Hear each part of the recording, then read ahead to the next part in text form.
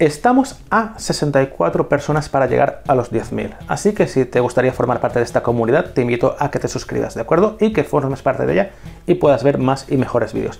Y también poder participar en directos, etc. Hoy voy a probar los Sennheiser HD 300, unos auriculares que me han dejado así. ¿Por qué? Lo voy a comentar al final del vídeo, por supuesto. Son mejores que los 206, que los HD 400 o 559 que he probado. Tienes también un análisis de estos auriculares para que lo puedas ver y sacar tus propias conclusiones. También tienes un enlace a Amazon por si los quieres comprar y también te invito a que te hagas sponsor del canal y así estar ayudando al canal para que pueda hacer más y mejores vídeos, ¿de acuerdo? Pues ya me dejo de historias y vamos al lío. Muy bien, pues vienen presentados en esta caja. Aquí dicen que son plegables, como podéis ver tenemos el sello de autenticidad de estos auriculares y vamos a pasar a verlos un poquitín más. Es tan sencillo como hacer así y ya están desplegados y se pueden extender de este modo. Plásticos bastante básicos, almohadilla muy poco mullida y tenemos lo que son unas almohadillas bastante generosas. Vamos a ver, bastante mullidas, no sé si serán muy resistentes y ya vemos aquí que tenemos un guardacable bastante justito, bastante, bastante justito. Aquí tenemos marcada lo que es la parte derecha y aquí tenemos marcada la parte izquierda. Cable de, un metro y medio.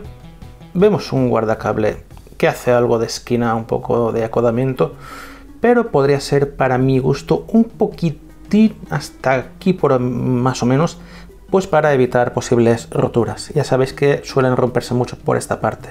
Muy bien, pues voy a pasar a ponérmelos. Lo que sería la parte del cable es la que iría en la parte derecha. Muy bien, muy, muy cómodos. Llegan entre las orejas bastante bien dentro de las copas. Y no aprietan para nada. Aislamiento pues prácticamente nulo. No es lo que se pretende tampoco y por este precio pues tampoco se puede esperar mucho más. Noto muchísima comodidad. Me los voy a poner así y ahí sí que noto pues que, por ejemplo, pues hago bien un poquitín. Pero puestos, una maravilla. Y ahora voy a hacer una prueba que ya hice con los anteriores. No voy a hacer la prueba del micrófono porque evidentemente no llegan a ser cerrados del todo, entonces escaparía sí o sí el sonido. Pero vamos a probar, pues por ejemplo, con el iPad a escuchar alguna canción y ver si se escapa mucho sonido al exterior. Voy a poner una canción, la que sea, y la voy a poner primero a un volumen bajo y luego voy a ir subiendo a ver hasta dónde se podía llegar a filtrar el sonido. Muy bien, me los pongo. Muy bien, los tengo un volumen bajo medio. Wow, cómo se escucha esto de bien. Y voy a ir subiendo poco a poco.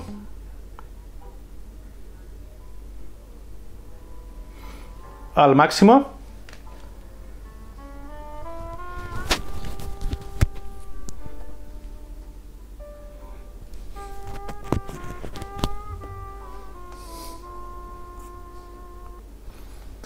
Muy bien, pues ahora veré si se ha filtrado mucho ese sonido.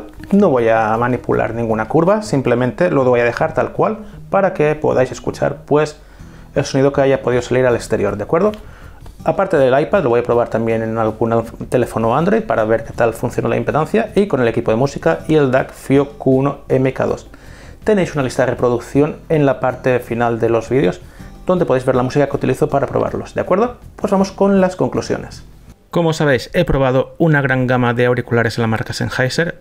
Los primeros fueron los 206 que no me gustaron nada, luego vinieron los 406, me gustaron bastante, igual que los 559, y luego pues los grandes como por ejemplo los 599, muy recomendables, o los 660 que probé hace poco, que ya son unos auriculares de gama muy alta.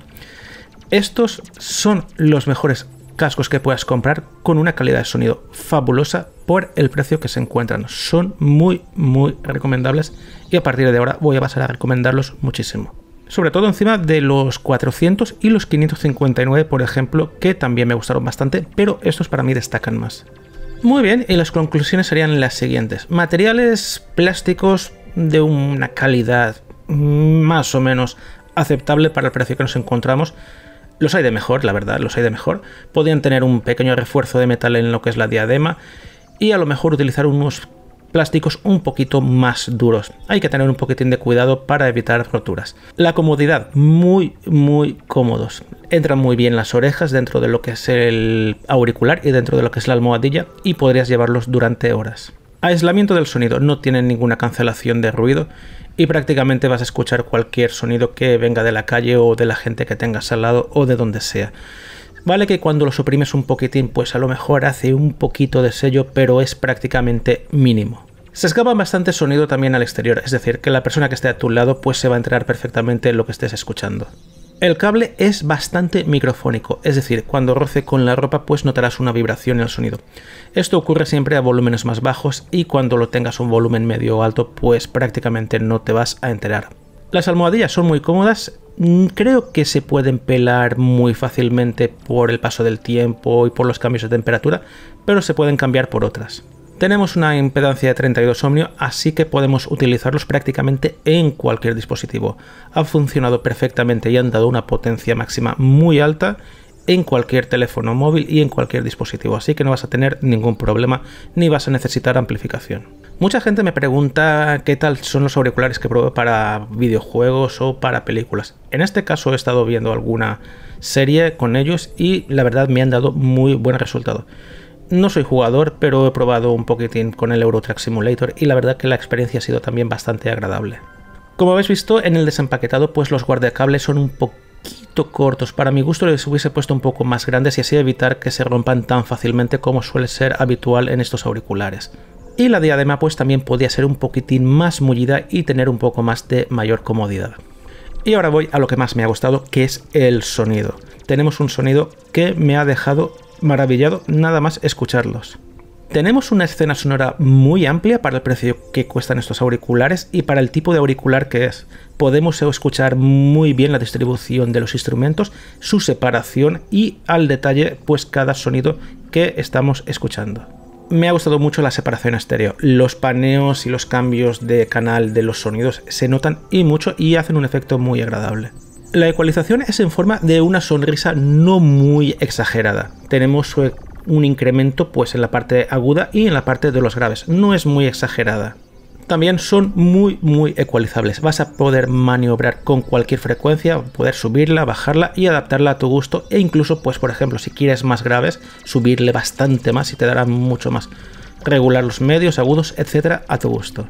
Y ya vamos con las frecuencias agudos, muy dulces, muy agradables, nada intrusivos, con una tímbrica muy muy exacta.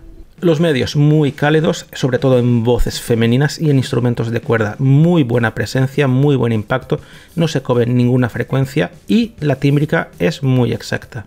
Con los subgraves sucede lo mismo. Buen impacto, no son desmesurados, no son para gente que busque unos graves a lo bestia, pero se pueden ecualizar mucho y pueden dar muchísimo más de sí de lo que dan.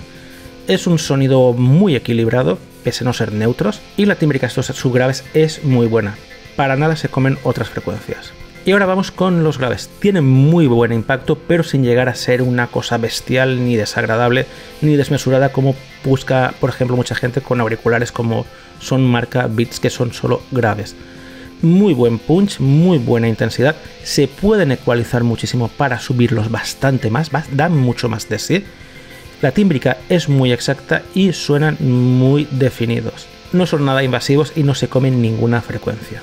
Muy bien, pues si yo tuviese que elegir entre unos auriculares de un precio comedido y tuviese que elegir, por ejemplo, en un rango de precio en que se encuentran estos auriculares, que son unos 36-40 euros, y me dijesen, elige entre los 300, los HD400S o los 559. Yo me quedaba directamente con estos sin pensarlo dos veces. ¿Por qué? He notado un sonido muy agradable, muy equilibrado, en los 400 también teníamos un sonido muy agradable, pero fallaban bastante en la frecuencia de los 125, que hacían un efecto de emborronamiento bastante importante. Algo que también sucedía un poquitín con los 559. En este caso no ha sucedido. La frecuencia de los 125 no han sido nada invasiva, es una frecuencia que pertenece a los subgraves y que a veces hace que en algunos auriculares tengamos un efecto apelotonamiento. En este caso no ha pasado, no hemos tenido apelotonamiento con los graves ni los subgraves y ha sido una experiencia muy agradable, ¿de acuerdo? Muy bien, pues no sé si me habré dejado algo, si es así no olvides de preguntarlo y lo responderé lo más pronto posible, ¿de acuerdo? Como siempre te agradeceré el me gusta, que te hagas sponsor del canal y si quieres ayudar al canal a que lleguemos a los 10.000, pues está en tu mano, ¿de acuerdo? Muchas gracias y nos vemos en un próximo vídeo. Saludos.